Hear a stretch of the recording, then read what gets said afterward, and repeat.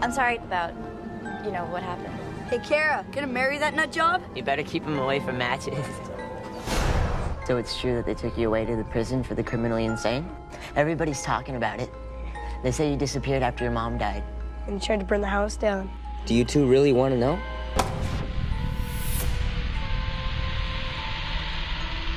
The fire took down most of our house. Not a human. You think that you've been seeing something like this? At night. Something that you can't see and you can't read about. You can only hear about it or learn about it as it attacks you. Paulie, Paulie, if you're sleeping, wake up.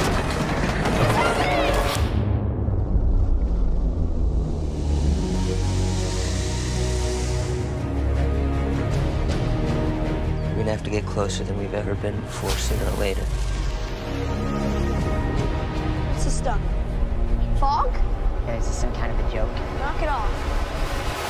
Don't talk.